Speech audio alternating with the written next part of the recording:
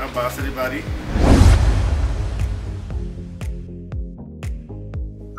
Fine mart रहीमजा Khan से। इस तरह है कि 2007 से मैंने अपना कारोबार का आगाज़ किया जिसमें मैं एक स्टूडेंट लाइफ से ही एकदम अपना इसमें आया था। और उसमें आते सारे मैंने जो सा है, बारह सौ रुपए किराए के ऊपर मैंने शॉप ली थी सबसे पहले मैंने। तो उस बारह सौ रुपए किराए की दुकान के ऊपर मैंने सिर्फ़ दस हज़ार रुपए से जो वाले साहब ने मुझे सिर्फ़ दस हज़ार दिया था, उससे मैंने अपना काम स्टार्ट किया था। अदरवाइज़ हमारे पास किसी किस्म का कोई सरमाया, कोई हमारी ज़मीन कुछ भी नहीं था। कदम थे तो वो सब भी जो से ट्रेडिंग के और क्लीनिंग के बिज़नेस से ताल्लुक रखते, जो कि आज भी चल रहा है। लेकिन मैं वाहिद बंदा जो मेरे टेल में आया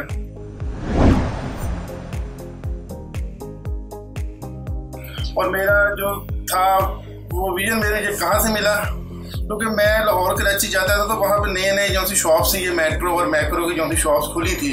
उन्हें विज़िट करता तो मुझे बहुत शौक था बचपन से कि मैंने ना, ये एक खोलनी है अपना शॉप खोलनी है, जिसमें मुझे ना, ये रिटेल बहुत अच्छा लगता था मैक्रो मेट्रो में ना ओपन वन और हिमजा खान में आई थी कि मैं खैर सेकंड शॉप थी। फ़र्स्ट शॉप रोही मार्ट थी सेकंड शॉप मेरी जो थी दो हज़ार सात में। और एक ही रोज मैंने सिर्फ़ अपना सरमाए कम होने की वजह से मैं ऐसे लेट कर गया और अदरवाइज़ मैं शायद 2005 2000 में भी खोल सकता था सरमाया।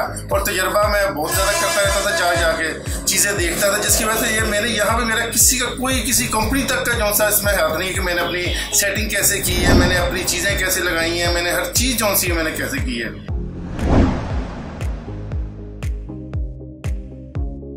माशाल्लाह, मैं ये कहूँगा कि इसके बीच में सबसे पहले ये कि आपके पास जो सा है वो अपना स्टॉक जो सा है आपके पास, वो अवेलेबिलिटी स्टॉक की और उसकी जो सी है आपके पास उसकी वैरायटी असल में मेरे पास जो शॉप पे कस्टमर का रुझान था कि जो चीज़ नहीं मिलती ना मार्केट से, वो फाइन मार्ट से ज़रूर मिल जाएगी हमें।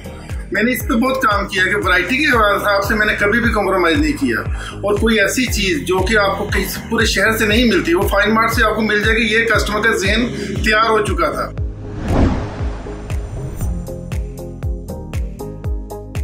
सफ़र के मामले में ये कि अल्लाह का शुक्र है कि सफ़र तो बहुत टफ था नो डाउट इसमें बहुत मेहनत और बहुत स्ट्रगल करनी पड़ी मुझे।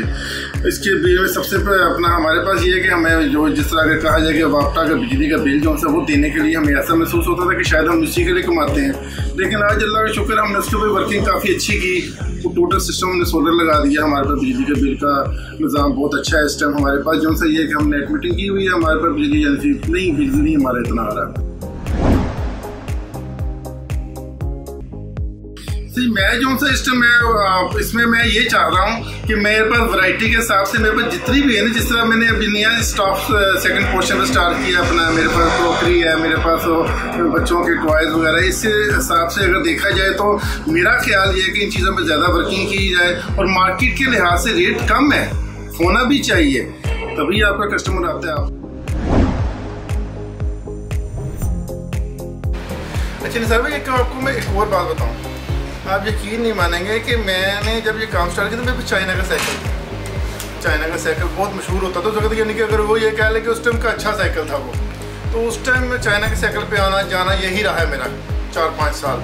उसके बाद मैंने बाइक खरीदी, किस्तों की बाइक बहुत उस टाइम रवाज था यामा हंड्रेड होती थी। तो सौ रुपये किस डेली की, सौ रुपये किस डेली की मैं देता था उसको, और वो हमने, मैंने मोटरसाइकिल खरीदी।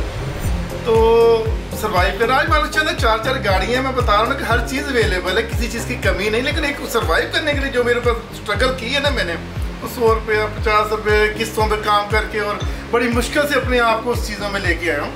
लेकिन मेहनत बहुत ज़रूरी है और शदीद मेहनत की ज़रूरत है। और अब तो बहुत ही ज़्यादा जो आजकल हालात जा रहे हैं तो शदीद मेहनत की ज़रूरत है। इस टाइम तो कोई डाउट नहीं है।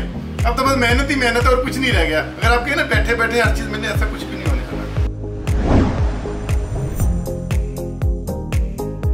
शुक्र मैं कहता हूँ कि नया जो नौजवान है, उसे चाहिए कि सिर्फ़ और सिर्फ़ मेहनत। और जितनी ज़्यादा मेहनत हो सकती है, उतनी की जा सकती है।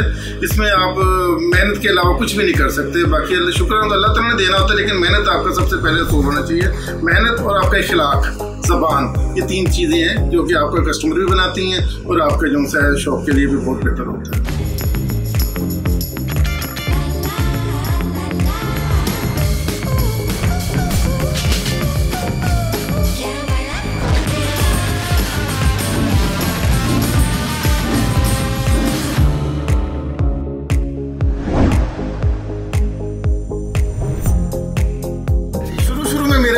मेरे पास कौन सा है, वो अपना, इनके कस्टमर का रुझान नहीं था। जब मैंने शॉप खोली तो नहीं रुझान था मेरे पास मेरे पास दो तीन सौ की सेल होनी, मैंने कहा, ये क्या है? लेकिन मैंने फिर उस पर एक वर्किंग की, मुझे बहुत मज़ा आया उस काम करने में। मैं आप लोगों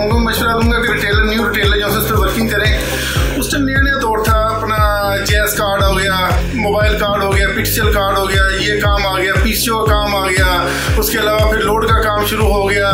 ये छोटे छोटे काम जो थे, मैंने साथ रखे, जिसमें कस्टमर की जो से फिर बिलिंग जमा करनी शुरू कर दी है। हमने आज नहीं कर रहे हम बिल जमा, हम नहीं किया काम कर रहे, लेकिन उस वक्त मेरी ज़रूरत थी। मुझे कस्टमर को अपनी शॉप के ऊपर लेके आना था। और मैं बड़ा अच्छा काम जब रह गया, मैंने उस टाइम कस्टमर को लेके आया हूँ। और मेरे साथ बहुत मुझे अच्छा लगा। छोटे छोटे काम करने की वजह से ना कस्टमर आपके पास बहुत जल्दी आते हैं। जैसे बिल जमा करवाना बिजली का, हर बंदे का ही आता है। हर बंदे नहीं आना है। तो आपकी शॉप उसके लिए बहुत ही मशहूर और मरूफ है, यदि बगैर किसी वजह के आपको कस्टमर मिलता है, वो जो बिल जमा करवाने के भले उसे आपको कोई पैसे नहीं दिए, लेकिन आपकी शॉप जब उसी खरीदेगा, आपका तो प्रॉफिट आ जाएगा आपको। ये कस्टमर को लाने का मेरा बड़ा अच्छा तरीका रह गया था। उस अगर मैंने कस्टमर को जब लेके आया ये बड़ा मज़ेदार काम रह गया मेरे लिए।